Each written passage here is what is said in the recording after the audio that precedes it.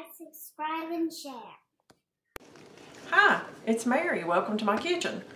I was surfing the internet a day or so ago, found a really good sounding recipe. It's from Sugar Free Mom. It's low carb French onion meatballs. Now, that sounded really good to me and my family, so I'm going to give it a shot today and we'll give a fair opinion on it. So, first of all, I've got a pound of ground beef. The recipe says you could use pork or beef. I use beef. Okay. And I've got a half cup shredded mozzarella cheese, a third cup of pork rinds. Cannot stand to have my workspace cluttered. Recipe calls for fresh, fresh parsley and sage. I don't have fresh, but I use dried. Instead of using a tablespoon of fresh, I use a teaspoon of dried. So that's the uh, measurements, just in case you're interested. But I've got parsley, sage, onion powder, salt, and pepper.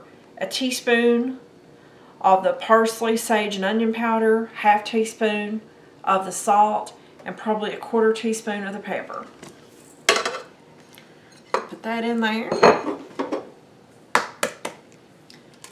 An egg. And a teaspoon of garlic.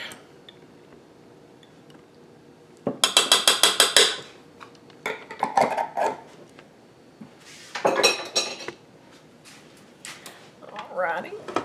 Let's put this up here. Get it mixed up. And I'll show you what it looks like in a second when we're finished. Alright, we've got that mixed up really well now. Take it down. And the recipe says that it makes about 20 golf ball size. So I'm using an ice cream scoop. So we'll see.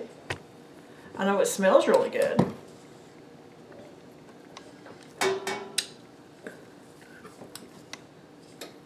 So how do you make meatballs?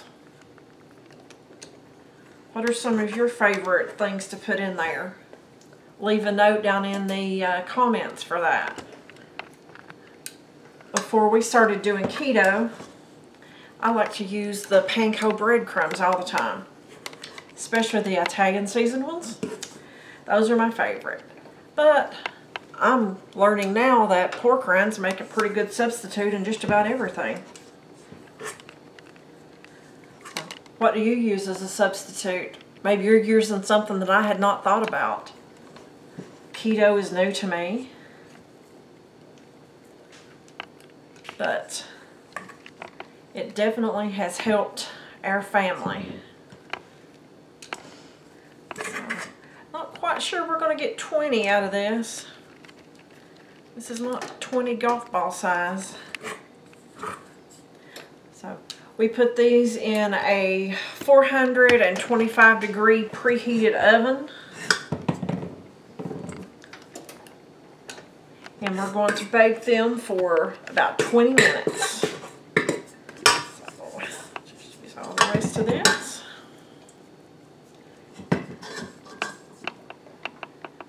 Okay.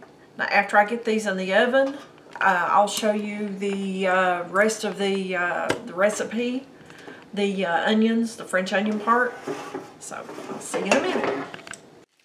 Alrighty, for the uh, next part of this recipe, the uh, French onion soup part, I've peeled onions. It calls for two medium onions. I had one medium and two small, so guess what? That's what I'm using. For me, a recipe is only a guideline. I usually don't follow exactly. And a lot of times I don't measure. So I have got two tablespoons of butter melting in my pan. I'm going to put my onions in here. And I need to uh, cook them until they're caramelized. So I'll see you back when that happens. Okay, the onions are starting to caramelize. So I'm going to go ahead and put the rest of the ingredients in here. It calls for 16 ounce of beef stock. So I'm using 16 ounces of water and two tablespoons of the uh, Better Than Bouillon.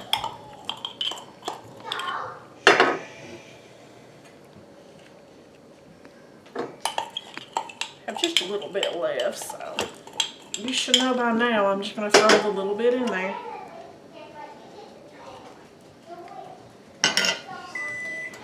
And I will put another teaspoon of garlic in there. And now I just need to simmer this until it thickens up. I'll show you what it looks like then. Okay, this has thickened up a lot. So I'm to go ahead and put my meatballs in here. This smells like an excellent, excellent recipe. I cannot wait to try it. Okay, putting the meatballs in there, stirring them around a bit. I'm supposed to top them with about a half a cup of mozzarella cheese. So,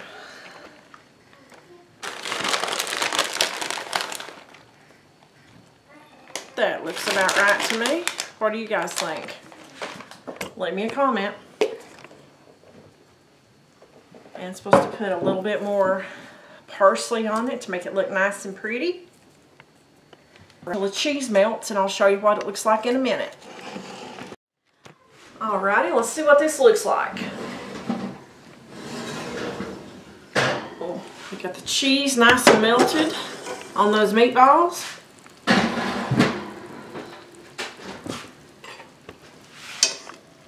Nice thick gravy. I've never made French onion soup before. So let me give this a quick taste.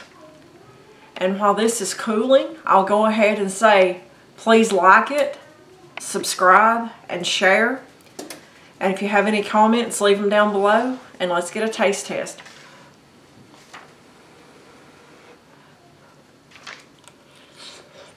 Mmm. That's excellent. As I said a few minutes ago, I would give you an update and a taste test and a result. Well, it's good to the last drop. It was excellent. It will definitely be something that I make over and over again. Like, subscribe, and share.